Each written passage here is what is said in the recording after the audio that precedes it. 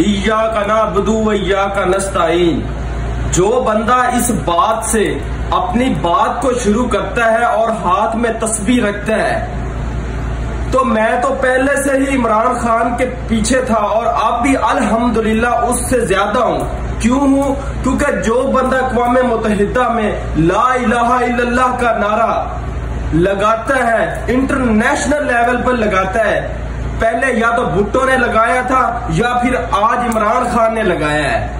तो मुझे बहुत दिल से ज़्यादा खुशी हुई। आज तक किसी लीडर ने ऐसा काम किया है तो मुझे बताइएगा। परवेज मुशर्रफ ने सही कहा था, इमरान खान साहब, आप अपनी पर्सनैलिटी यूज़ करें। लोगों को बताएँ कि आप क्या चीज़ है। तो आज हम अगर अपने हक के लिए खड़े हैं तो इमरान खान के पीछे खड़े हैं। हम अपने फ्यूचर के बारे में सोच रहे हैं। अगर हमारी नस्ल तो अब जा रही है, हम नौजवान लोग हैं। अब हमारा जो बनना था, वो बन चुका है। लेकिन अब हम आने वाली नस्ल के बारे में सोचे। हम आने वाली नस्ल के बारे में सोचे कि हमारा आने वाला वक्त कैसा होगा। अगर आज हम पीछे हट गए तो समझ लीजिए